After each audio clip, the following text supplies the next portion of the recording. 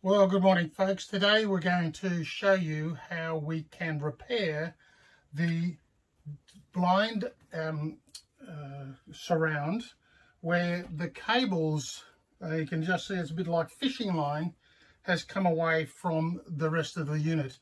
Uh, while it doesn't prevent you from opening or closing your blind, the blind won't stay up because there's no tension up against it.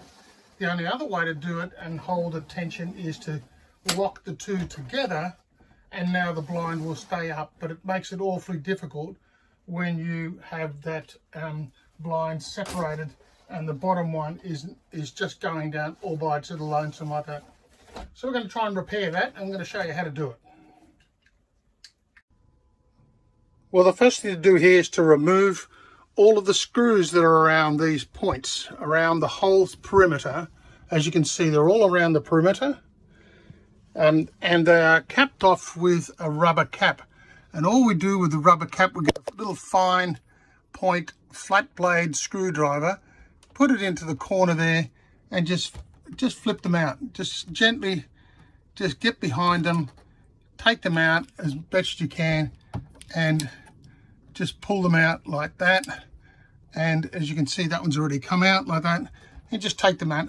That exposes the Phillips head screwdriver that's behind them. So all we do now is just take all of the Phillips head screws out and that will take the surround off the unit. We'll go ahead and do that now and show you exactly how it looks like inside. Well now that we have all the screws out from around our perimeter of our uh, external blind all you need to do now is just simply grab the corner and gently pull it away from the unit and take it off. It should just come straight off. And we just lay it flat like that and we'll take it to the repair bench and see what we can do with it. Okay, so the next thing we have to do is to take this side rail off, the side rail of the screen. And what we do is we just remove the screws that are held in place here. Just take all of the screws out and you, once you've got those screws out, just simply rotate it a little bit just give it a little wiggle rotate it a little bit come it out and just put it aside. This will expose all of the mechanism that's here and you can see from this um, perspective that you've got the strand the black strand is for the screen the black fly screen and below that we've got the the um, me just see me moving it there.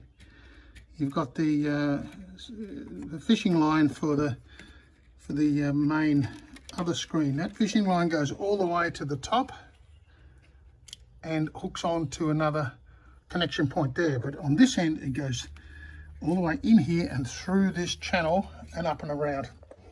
So we'll have to uh, see how we can adjust that and uh, get a new strand in there Okay, so now we've got the screen on the bench. Um, what you need to do is to restrand the cable, the wire, uh, which is really a fishing line, um, back through the thing, through the uh, through the screen here, and in. Now, what we've done for that is we've chosen to purchase from BCF 80 um, pound um, trace line which is a little bit stronger than what's there now, but you can't have it much stronger because otherwise it won't flex. So what we've done with that is we've fed, we'll forget about this point right now, but the focus is to, on this edge here, if you just lift it over a little bit off the edge, because we've taken the trims off the sides, remember? And so you can see a little hole in there. And what we've done then is we've fed this line, a bit hard to see with this line, we've fed this line into the hole and gone in this direction to go over here through this little clip and up. Now, the way to do that is to remove this little clip. There's a screw right on the end of the clip, if I can get you to see that. There's a screw just in there, you can see it's a Phillips head screw. Just take that screw out. It will allow you to remove this little plastic thing by just pushing it that way and it'll release it. Um, the reason we've chosen to go in this direction is because over on this side we have two of the the black cables for the black screen but there are two cables, two fishing line strands. You can see a bit hard to see here, but just, just to count that there's two here. And the way this system works is it goes from the top left corner down through this screen over to this end. So from the top down through here, through to this and down to there, to this point. And then the other one goes across and up and in there. And then the similar thing happens over here. So it goes down from here, through the channel, to this point and down to here and then back through the second one goes up there.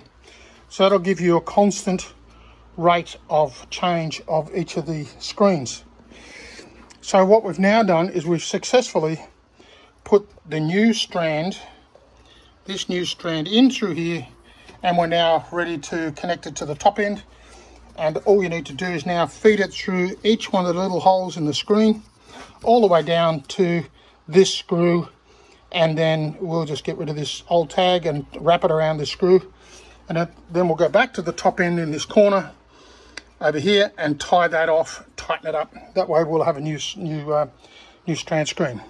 We're going to go ahead and do that now and we'll show the finished product in a minute.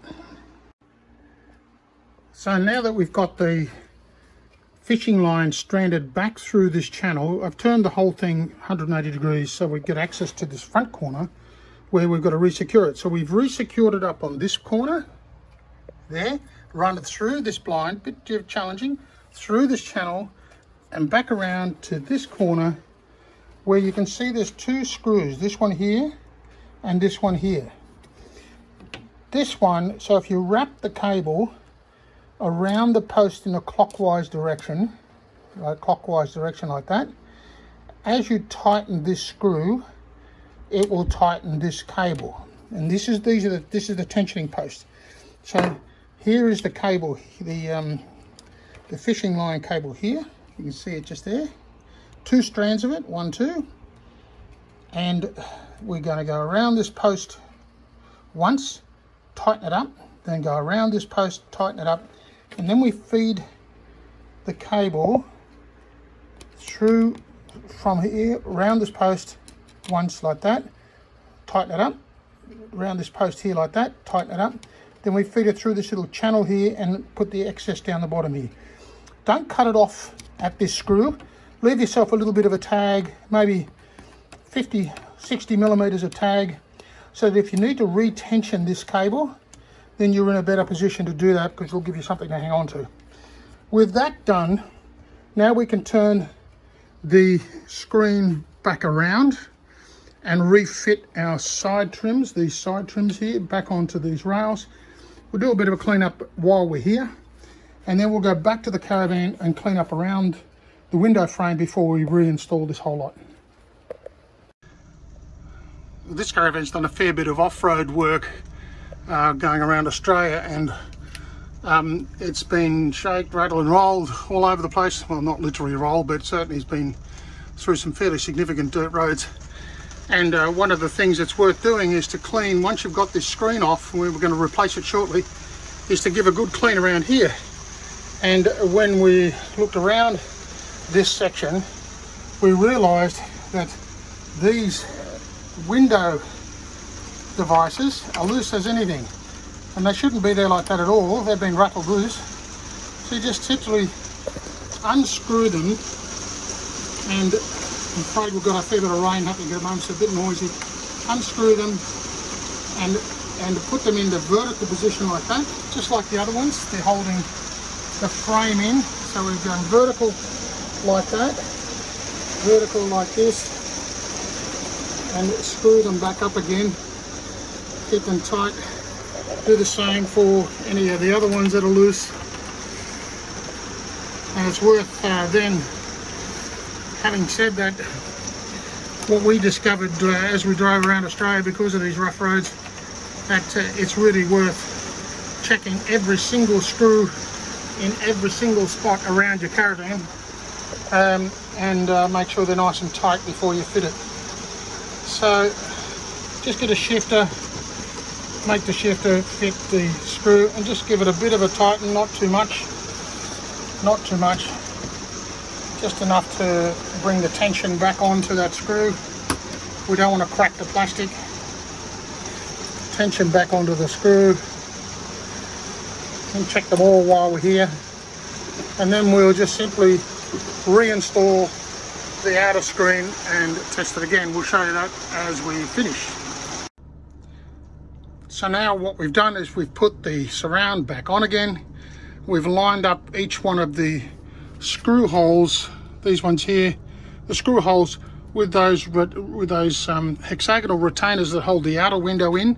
They line up directly with those. So but don't over tighten these screws too much. They they'll sit hard up against the post behind it but you don't want to over tighten and crack the plastic. And once you've got all that nicely in place then just put the caps back in and test your window and make sure it's all working properly and if we have a look at that it's smooth as silk all the way to the top nice and neat nice and tidy. All our cables are lined up properly. Tension is nicely set and we can just simply put it back down again all the way to the bottom. Of course any of the operations of these blinds needs to be relatively gentle same as the one the screen.